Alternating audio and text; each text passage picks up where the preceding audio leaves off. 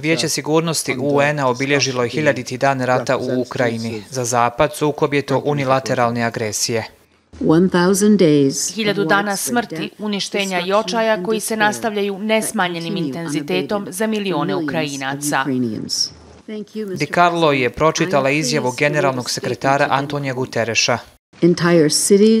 Čitavi gradovi, sela i naselja svedeni su na ruševine. Ukrajinski ministar vanjskih poslova pozvao je svijet da nastavi podržavati Ukrajinu.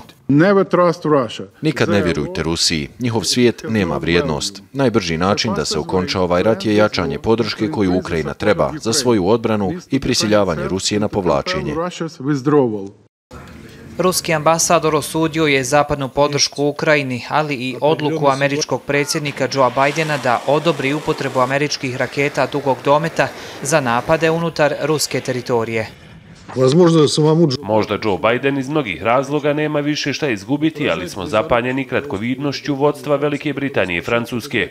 Oni su željni igrati u korist odlazeće administracije i povlače ne samo svoje zemlje, već cijelu Evropu u veliku eskalaciju s drastičnim posljedicama. Dok bitke traju na istoku Ukrajine, rat riječima u UN-u priprema se za ulazak u hiljadu prvi dan. Kerim Sefer, Al Jazeera.